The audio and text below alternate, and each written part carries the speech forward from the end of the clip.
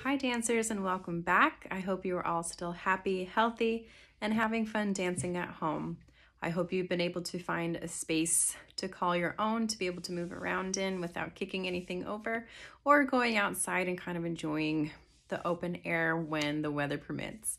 Um, this week, again, I'll give you just some exercises to be doing at home to keep your body uh, healthy and strong and mobile. I also would like to encourage you this week to research a piece called Cacti by Alexander Ekman.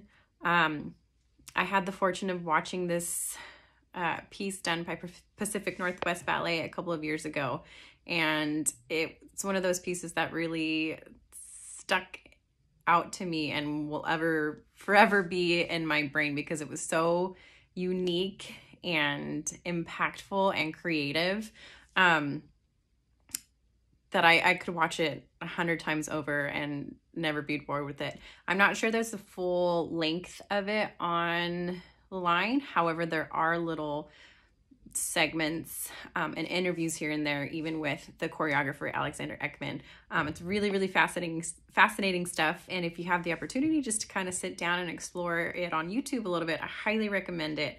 Um, you'll get to see the usage of a lot of different props and even dialogue and humor, and just really exploring what dance can be and seeing that it doesn't have to be defined as one one direction or one idea. There are so many ways to express yourself through dance.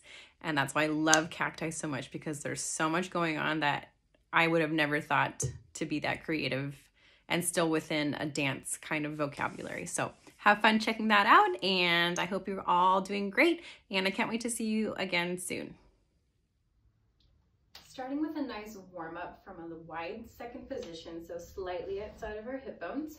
We'll take up five to six. You can be facing the bar seven and eight. We take four count grand plie. One, two, three, four. Again, grand plie and six, seven, and eight.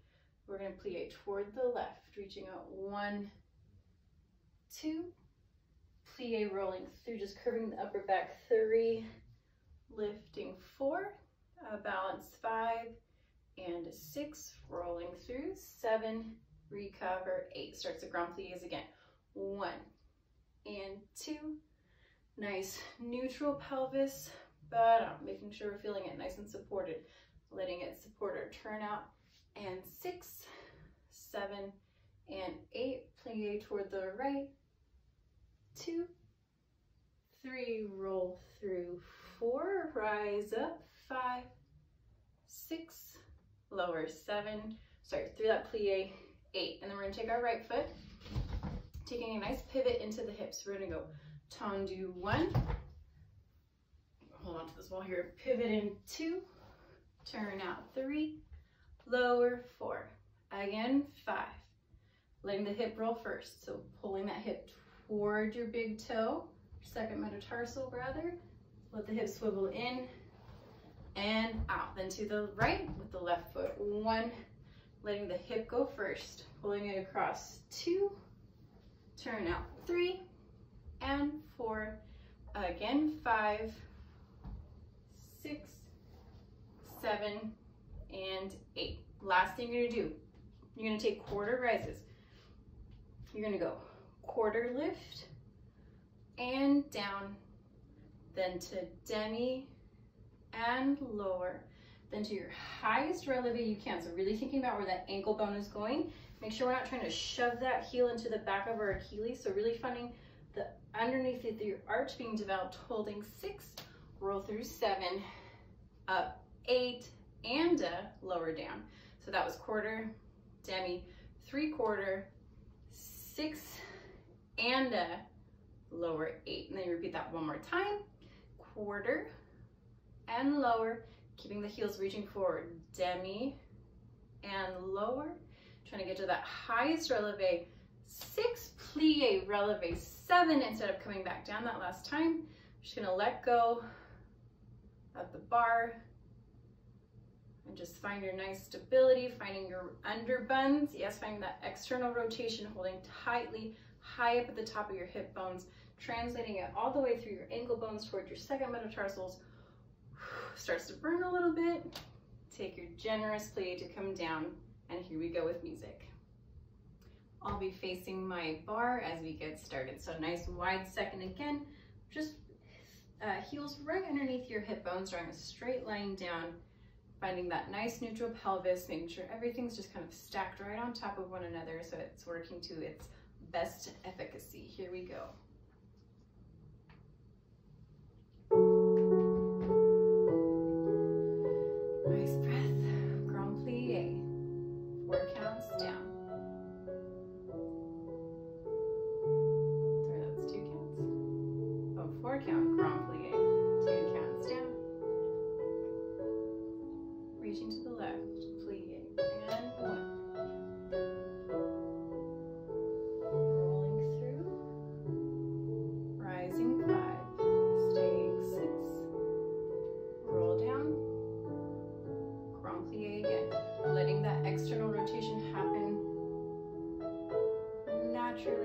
Forcing it,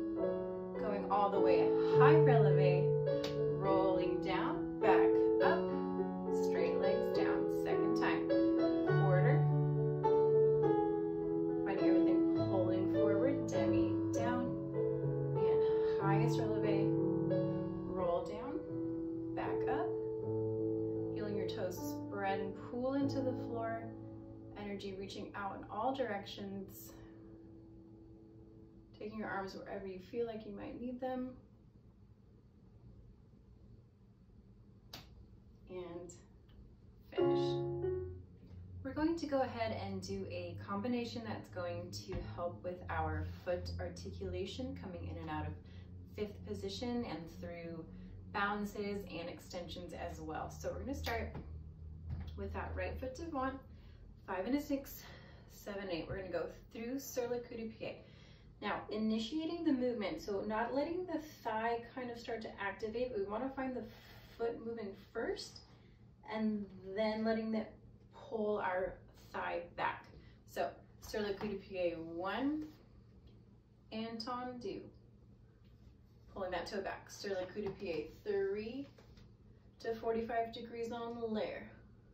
Third time, pulling that toe back, up to a plie and développé, releve, close and sous-sus, pas de bourrée, stretched through fifth. Then we start. Pinky toe coming back, coup de pied one, and tendu. Coup de pied, 245. Back in, through plie, releve, pas de bourrée. Now you're gonna stay up in your sous-sus for this next section that comes through à la seconde. We go. You're gonna plie, sorry, you're gonna go through sur le coup de pied. One, plie tendu, à la seconde, two. Then you're gonna go plie releve. So again, starting from two legs, brushing through sur le coup de pied and stay. Coming back through fifth, releve 90 to retiré, letting go of the bar, change back. Stay in fifth as you pas de from the coup de pied derrière. One, and a close. This is enveloppe to coup de pied derrière. envelope to retire derriere. Arms go one, two, passe.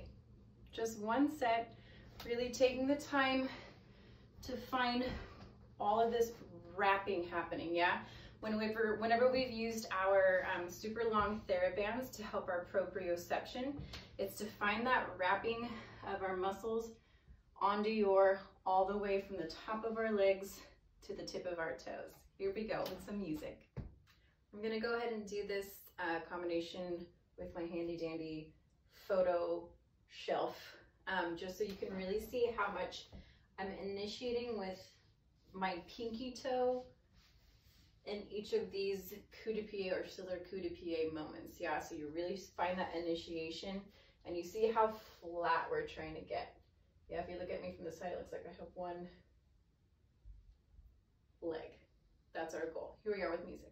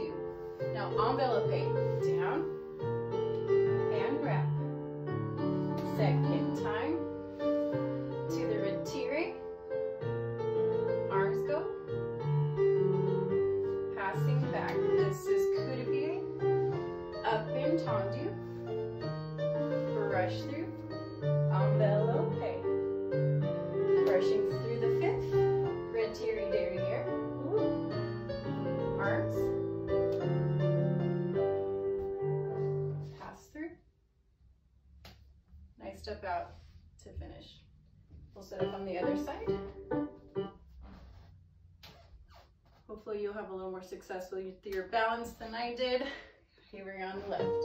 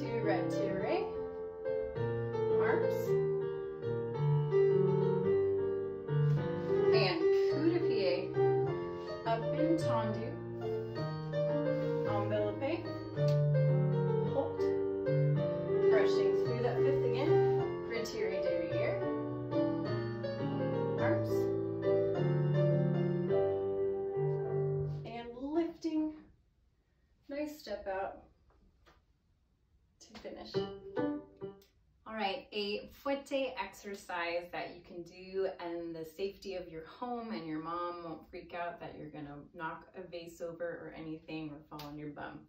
Um, this starts in fifth position. You're gonna rise up to a soutenu, seven and eight.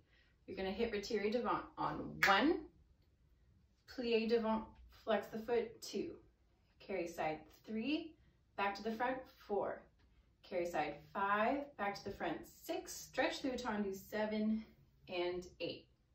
You're going up into retire on one, flex out two. So again, finding that heel pressing forward, watching that supporting uh, thigh, open three and four, five and six, pressing through seven, eight. Third time, back up one, the pointed foot, two, out three and four, five and six, tendu seven and eight. Right from there, you're gonna plie and bama, al alsacon one, petit battement two, out three and a four, press out five and a six, détourné seven to the other side, eight, and then you're ready to go back up on one. Yeah, I'll be doing that again um, with you on my special little bar here. Something that we're thinking about when we go into our fondu, whether it's with the flex foot or the pointed foot, make sure that you're not letting your rectangle curve at the base of your spine. You want to think opposite. You want to keep that spine elongating even further. So by the time you're getting up into your releve and retire, your rectangle, your stack, your alignment is exactly where it needs to be and you don't have to do any extra shifting when you're going from a flat plie to releve on demi-point or on point. Here we are with some music. I won't really be able to cheat much when I'm facing to the side, so keep me accountable for how my alignment is throughout this whole entire thing and yours as well. Here we are.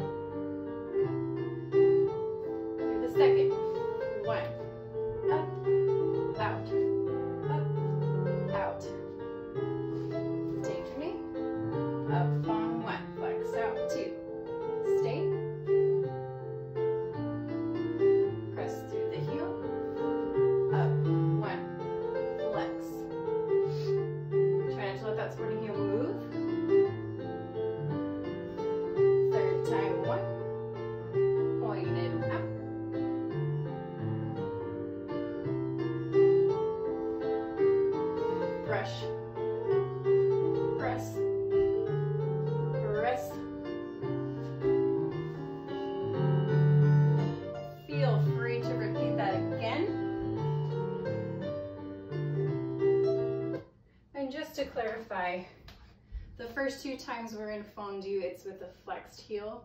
And the arm should be staying, um, it should be moving with your leg. Yeah, up, one, out, open. Moving in one piece and close. I don't think I did that on both sides, but just something to um, pay a little bit of attention to, that that arm is moving in and out with your leg throughout the whole entire combination keeping our stability on our supporting leg when our working leg is in an extended position. We've done this combination a few times and I'm gonna go ahead and suggest that you do this on a somewhat unstable surface, so maybe like a pillow or a folded up blanket or towel or something, just something to give yourself a little bit more of a challenge on that supporting leg. So this one goes, we're gonna start with that left foot devant, Boop, five and six, seven, eight, going through sur le coup de pied. One, up, two, plie devant, three, grab the leg, four, stretch three, also come five, and a six, stay seven, and eight. Try to see if you can shift your pelvis to get a little bit higher. One, two, bottom of the foot looking forward, three, four, try to pin it to win it, letting go, five and a six, tendu seven, close eight, and then we go ahead and do it on the other side. So again, you're going up through your sur le coup de pied. You plie devant, grab a hold. If you're less flexibly inclined, you can grab around your calf or even your hamstring. Um, but whatever you're doing, you're trying to make sure that you're not compromising your alignment in your torso just to get your leg up higher. Um, that's a little bit different when we're shifting our pelvis to support the weight of your leg, but we don't want to make sure, we don't want to let our torso be moving in order to get closer to our leg. Yeah, you want to think about being a little bit more opposite in that action, feeling your body slightly further away, but letting the pelvis tilt so it can support the weight of your femur when it's in that super above 90 degree extension. I will do my best to do this with you with music on both sides, starting with the left foot devant. Left foot devant. Thank you.